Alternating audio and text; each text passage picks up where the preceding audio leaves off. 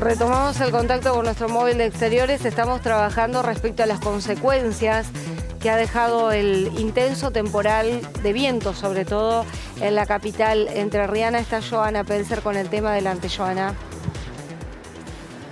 Así es, Susana, retomamos el contacto y vamos a empezar a contabilizar un poco estos daños que ha dejado el temporal. Estamos con Sebastián Micheli, el jefe de Protección Civil de la Municipalidad de Paraná. Sebastián, buenos días. Bueno, ¿qué ha dejado un poco el temporal de anoche? Buenos días. Bueno, eh, como estábamos hablando, el, viento con el que ingresó el temporal fue, eh, fue, fue altísimo, las ráfagas sobre todo entre 45 y 55 kilómetros por hora, lo cual ocasionó el 90% de los destrozos que, por ahí se están viendo en la imagen lo que se está sabiendo. Eh, milímetros de agua no fueron muchos, cayeron 15 milímetros, pero sí el viento ocasionó grande daño, ¿no?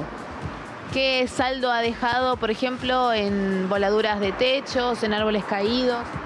Bueno, por el momento nosotros tenemos reportado cinco voladuras de techo, eh, dos en, zona bajada grande, más concretamente en barrio Cárita, eh, y después tres en otro punto de la ciudad. Se voló una galería de gran dimensión en calle Almafuerte y Maya, un poquito más adelante. Y, después, bueno, voladura de árboles, árboles caídos. Eh, hasta el momento eran más de 20, concretamente 21 tenemos nosotros reportados hasta ahora. Y además, bueno, hay un montón de ramas, incluso eh, se está pidiendo circular con precaución por esa situación.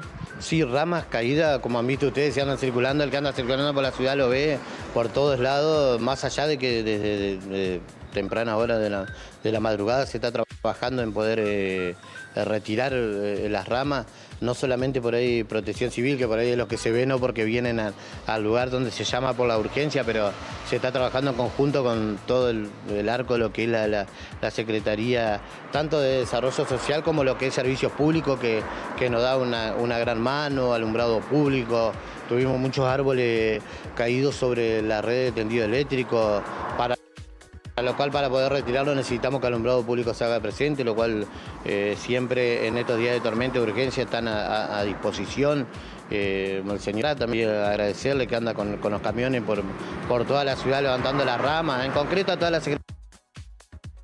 Secretaría de Desarrollo Social y Servicios Públicos que sería imposible que nosotros lo, lo hagamos solo, ¿no? Eh, se trabaja en conjunto para poder tratar de sacar eh, rápidamente eh, lo que está sobre la vía pública sobre todo y, más que nada sobre las viviendas y demás, que eso es por ahí la mayor preocupación. ¿Hubo familias afectadas que tuvieron que ser asistidas? Sí, como te digo, estas cinco familias que se le voló el techo fueron asistidas ya en cuatro y media, cinco de la mañana ya de Desarrollo Social, lo que es la subsecretaría de Calle Colón, eh, ya estaban al tanto de la situación, nosotros alertamos a ellos de caso y ellos intervienen, intervienen lo más rápido que se puede. Y, bueno, nosotros con otras áreas de la municipalidad nos encargamos de, los siniestros eh, más graves, digamos, por así decirlo, que no hacia la asistencia, sino eh, sobre la vía pública. Tenemos árboles caídos sobre techo.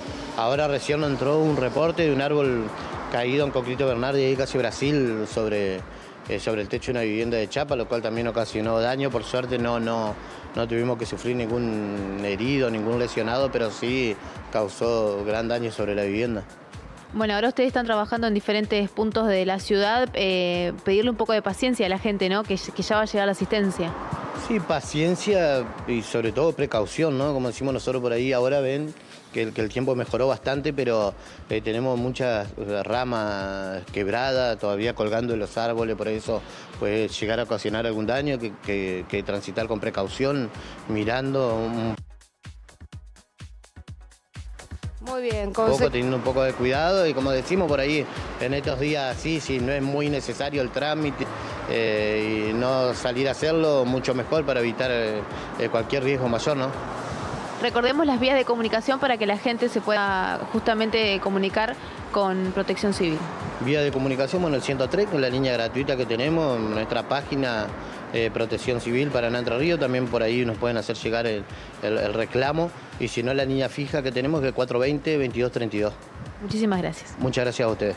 La palabra entonces Sebastián Micheli, el jefe de Protección Civil, bueno, dando un poco cuenta en números básicamente de lo que ha dejado el temporal aquí en la ciudad de Paraná. Importante saber esto, un poco de paciencia y sobre todo precaución, a pesar de que haya mejorado el tiempo, todavía hay un montón de ramas, árboles tirados, así que circular y con precaución en esta zona de la ciudad, en diferentes puntos eh, ha ocurrido esto, así que esa es la recomendación para la mañana de hoy.